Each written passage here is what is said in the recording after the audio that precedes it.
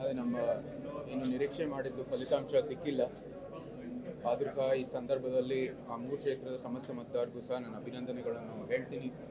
ಅಷ್ಟೊಂದು ನಮ್ಮ ಬೆಂಬಲ ಎಲ್ಲ ಕೊಟ್ಟು ಈ ಒಂದು ನಾವು ನಿರೀಕ್ಷೆ ಮಾಡದೇ ಇದ್ರೂ ಸಹ ಒಂದು ಫಲಿತಾಂಶವನ್ನು ಕೊಟ್ಟಿದ್ದೀರಾ, ಅದೆಲ್ಲನೂ ಕೂಡ ನಾವು ಸ್ವೀಕರಿಸ್ತೀವಿ ನಾವು ಸಹ ಒಂದು ಅವಲೋಕನ ಮಾಡಬೇಕಾಗಿದೆ. ಏನಕ್ಕೆ ಇಂಥ ಒಂದು ಫಲಿತಾಂಶ ಬಂದಿದೆ. ಆದರೆ ನಮಗೆ ಸಂಪೂರ್ಣವಾದ ವಿಶ್ವಾಸ ಇದೆ. ಮಹಾರಾಷ್ಟ್ರ ಮತ್ತು ಹರಿಯಾಣ ಅಲ್ಲಿ ಏನು ಫಲಿತಾಂಶ ಬಂದಿದೆ ಅದೇ ರೀತಿ ನಾವು ಸಹ ಮುಂದೆ ಭವಿಷ್ಯದಲ್ಲಿ ಕರ್ನಾಟಕದಲ್ಲೂ ಸಹ ಈ ಬಿಜೆಪಿ ಸರ್ಕಾರ ಬಂದೇ ಬರುತ್ತೆ. ಈ ಸರ್ಕಾರಕ್ಕೆ ಕೊಟ್ಟಂತಹ ತೀರ್ಪು ಈ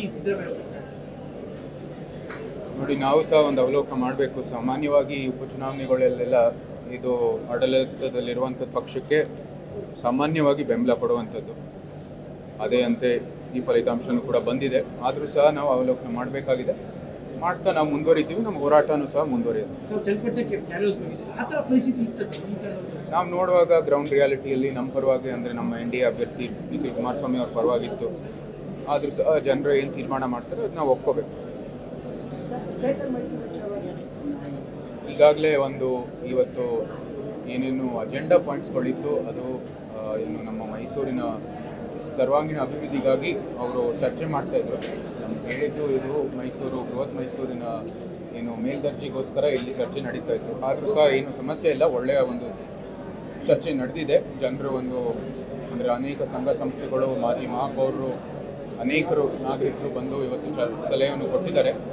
ಅದೆಲ್ಲನೂ ಸ್ವೀಕರಿಸುತ್ತಾ ಇವಾಗ ಮುಂದೆ ಒಂದು ಒಳ್ಳೆ ಕಮಿಟಿಯನ್ನು ಸೃಷ್ಟಿ ಮಾಡಿದ ನಂತರ ಈ ಮೈಸೂರು ಏನು ಬೃಹತ್ ಮೈಸೂರು ಮಾಡಲಿಕ್ಕೆ ಏನು ದಾರಿ ಅಂತ ನಾವು ನೋಡಬೇಕಾಗಿದೆ. ಯಾಕಂದರೆ ಇಲ್ಲಿ ಭಾಳ ಸಮಸ್ಯೆಗಳಿದ್ದಾವೆ ಅದೆಲ್ಲನೂ ಕೂಡ ಬಗೆಹರಿಸಿದ ನಂತರ ಈ ಬೃಹತ್ ಮೈಸೂರಿಗೆ ನಾವು ಮುಂದುವರಿಬೇಕಾಗಿದೆ.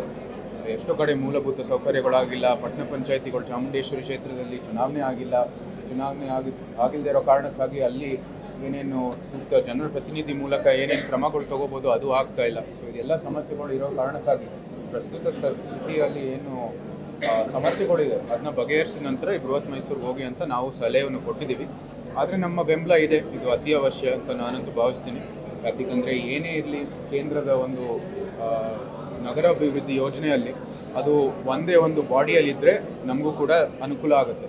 ಸೊ ಆ ನಿಟ್ಟಿನಲ್ಲಿ ಇದು ಅನುಕೂಲ ಆಗುವಂಥದ್ದು ಬೆಳವಣಿಗೆ. ಆದರೂ ಸಹ ಪ್ರಕ್ರಿಯೆಯಂತೆ ನಡಿಬೇಕು ಅಂತ ನಾವು ಸಲಹೆ ಕೊಡ್ತೀವಿ.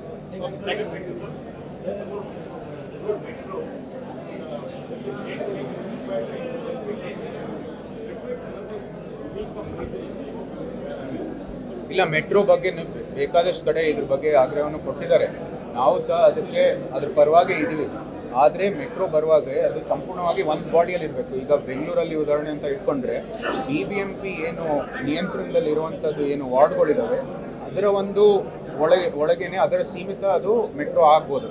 ಅದೇ ರೀತಿ ಇವತ್ತಿನ ಎಂ ಸಿ ಸಿ ಒಳಗಿರುವಂಥದ್ದು ಏನು ವಾರ್ಡ್ಗಳಿದ್ದಾವೆ ಅದರಲ್ಲಿ ಮೆಟ್ ಮೆಟ್ರೋ ಬರುವಂಥದ್ದು ಆಗ್ಬೋದು.